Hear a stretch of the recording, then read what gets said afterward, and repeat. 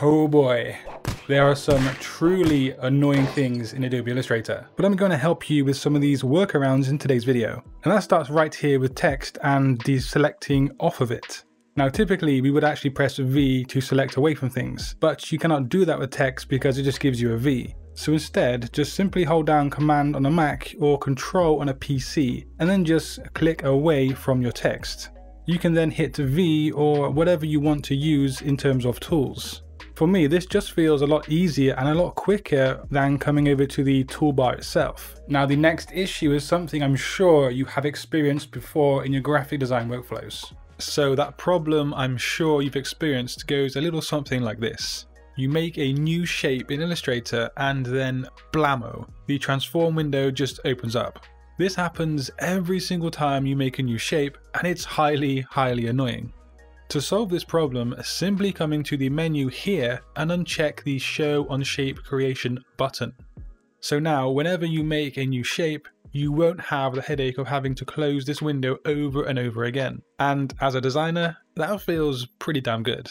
Learn more about the awesome workflow tool Milanote later in today's video, and also how to sign up for free with a no time limit period attached. Now again, I have some text right here, and let's say on this design, I want my text to be the exact same size as this circle. We could outline the text or whatever else, but to remain non-destructive, let's first head into the properties panel for this circle, and we're going to copy the height with Command or Control C. Great, now we need to press Command or Control T to open up the characters panel and navigate over to the corner menu we want to open up the height settings panel. And as you can see in the drop down menu, we have several different options open to us. Now the A on my Astro is an uppercase letter, so I'm going to use the select cap height option. We can then paste in the measurements, excluding the letters of course, and hit enter. So now my A will actually be the exact same size as my shape.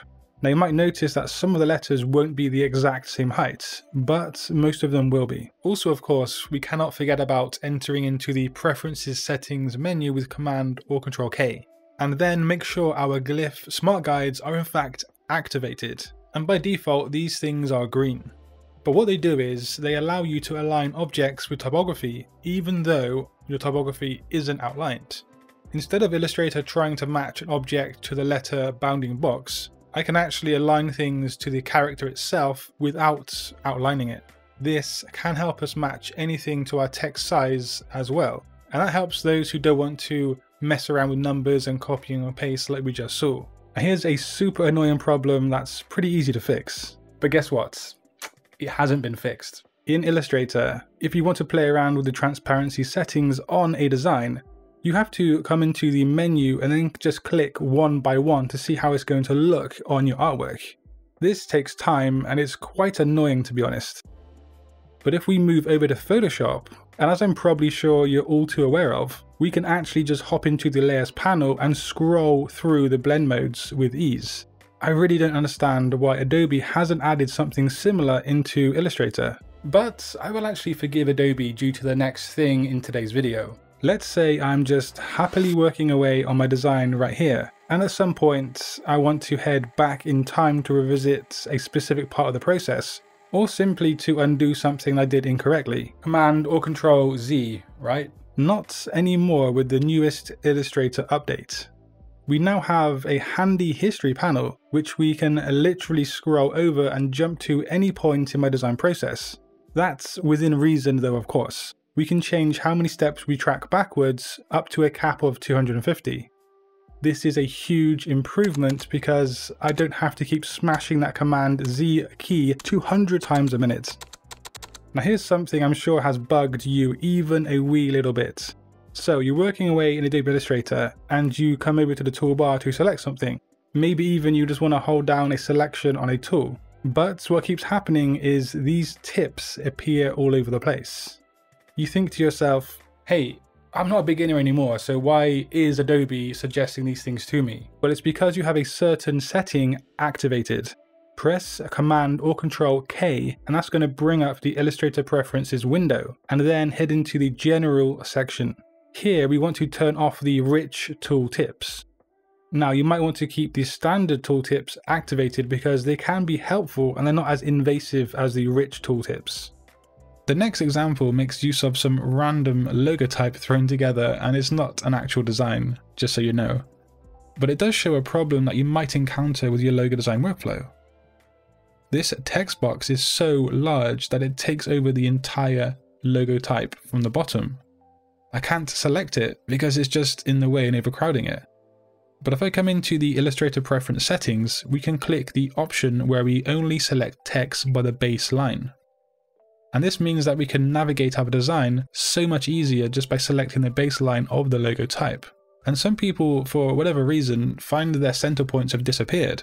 And it's often because this setting has been changed somewhere along the lines.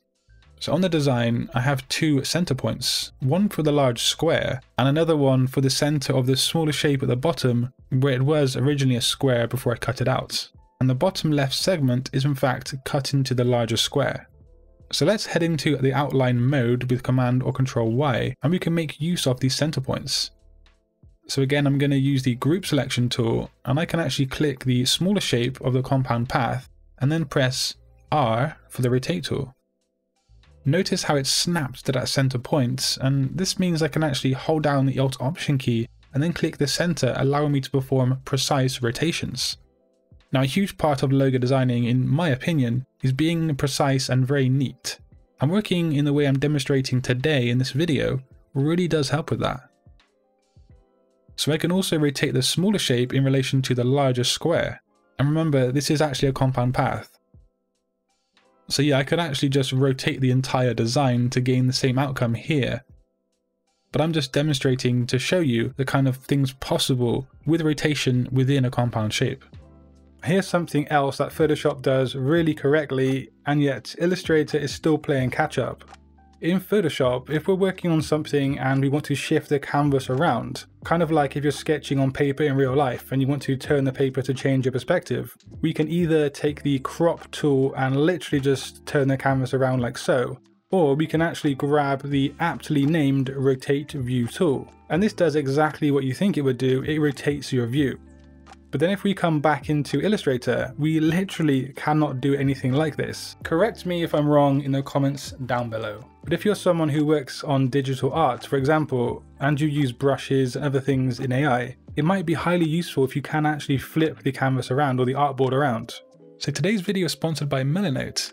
Now I've been a firm advocate of Milanote for three years, and if you've been subscribed to my channel for a while, you will know that Milanote is a bit different to traditional software. Now it's more like working on the wall, so to speak, in a creative studio. It allows you to map out your projects, collect all of your ideas and inspiration in one convenient place. And it also allows you to collaborate with your colleagues or your clients in real time. So I've been using Milanote for the past three years to keep my creative projects organized, and this awesome tool is available for free with no time limit. So if you haven't done already, Sign up for free using the link in the description box below and start to streamline your graphic design workflow today. But hey, if you want to learn more useful things about Adobe Illustrator, just click a video on screen. And until next time guys, design your future today. Peace.